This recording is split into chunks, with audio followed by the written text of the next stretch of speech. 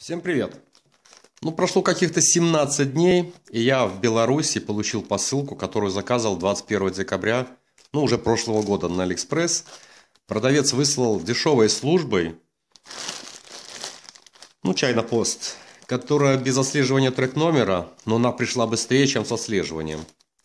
То есть я ее посылку реально не ждал, ждал другие, которые идут уже там по два месяца. Здесь я заказал потолочный выключатель освещения с датчиком движения за 6 долларов 11 центов. Магазину, по-моему, называется Тимак ЛТД. Спасибо за скоростную отправку. Лайк продавцу. Продавец оценил товар в 5 долларов. Ну, здесь написал правду, да.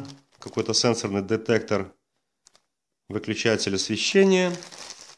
И весом 103, тут 90, тут 103 грамма. Хочу закрепить э, датчик, точнее выключатель с датчиком движения э, в коридоре, в потолке, для организации ночной подсветки коридора, точнее подсветки плинтуса. Есть идея, о ней я уже рассказывал на моем канале, установить в пластиковый напольный плинтус светодиодную ленту, которая бы в ночное время суток очерчивала бы габариты коридора. Так, здесь обычный мусорный пакетик. Все запаковано в подложку.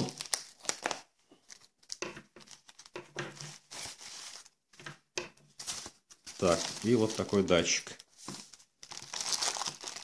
Когда-то у меня был уже датчик, выключатель с датчиком, но он устанавливался непосредственно в подрозетник, который в стене. Но здесь другой вариант, именно который крепится в потолке. Вот он выполнен из белого пластика. Очень, кстати, такого качественного пластика. Так, здесь какая-то... Ага, инструкция небольшая. Инструкция, мануал instruction на английском языке. Ну, в принципе, там на сайте продавца также вся информация необходимая есть. Непосредственно в пакете имеется какой-то штрих-код. Ну, то ли в магазины, то ли что. И вот еще какие-то буковки, цифровки. Возможно, это его модель. Для его установки в потолочное отверстие используются вот такие пружинные скобы, как светодиодные потолочные светильники. Так, параметры отверстия требуемые для установки. Ну, от 75 миллиметров, это у нас отверстие, а максимальный диаметр, да, здесь 100 миллиметров внешний диаметр его. Глубина поставки составляет 35 мм. Ну, толщина самого выключателя с датчиком. Ну, я уже сразу вижу, что он полностью соответствует иллюстрациям на сайте продавца. Кстати, питается он напряжением 220 вольт и коммутирует нагрузка мощностью от 5 до 800 ватт. То есть довольно-таки большой диапазон нагрузки. Для подключения питания э, напряжением 220 вольт, переменного напряжения 220 вольт, используются клеммы L, сюда подается фаза, и N это нулевой провод. Э, освещение, лампочки освещения подключаются к клеммам Load и нулевому проводу. Ну, в принципе, здесь сама схема нарисована на корпусе. Имеется переключатель чувствительности день и ночь. И также э, регулятор таймера задержки выключения от 30 секунд до 6 минут. Для крепления проводов здесь используются вот такие зажимные клеммы. Итак, я собрал схему, подключил нагрузку, энергосберегающая лампочка 20 Вт. Так, я так понимаю, что здесь коммутируемый элемент это реле, потому что слышен хороший щелчок такой. Вот по умолчанию она работает таким образом. Так, по умолчанию настроена на э, временную задержку 30 секунд.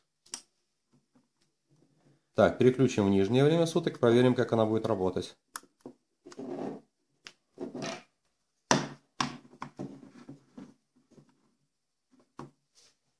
Действие не действует. Хорошо, я выключу свет.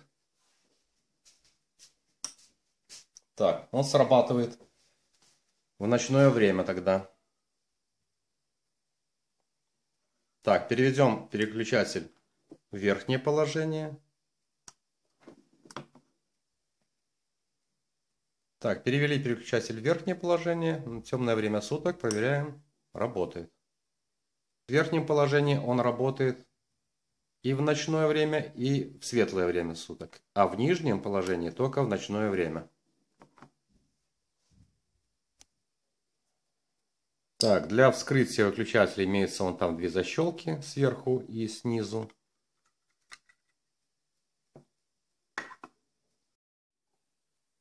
Да, здесь для коммутации используется реле. Все собрано на одной монтажной плате, которая здесь э, закреплена на двух саморезиках. Ну, схема стандартный, стандартный датчик. Датчик освещенности, датчик движения. Скорее всего, это фотодиод. Для управления используется какая-то маленькая микросхемка.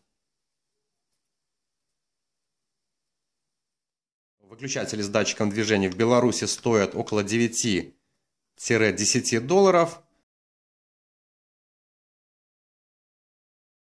Ну, а я тут приобрел за 6 долларов 11 центов, так что небольшая выгода приобретать на Алиэкспресс, ну или в китайских других магазинах все-таки есть.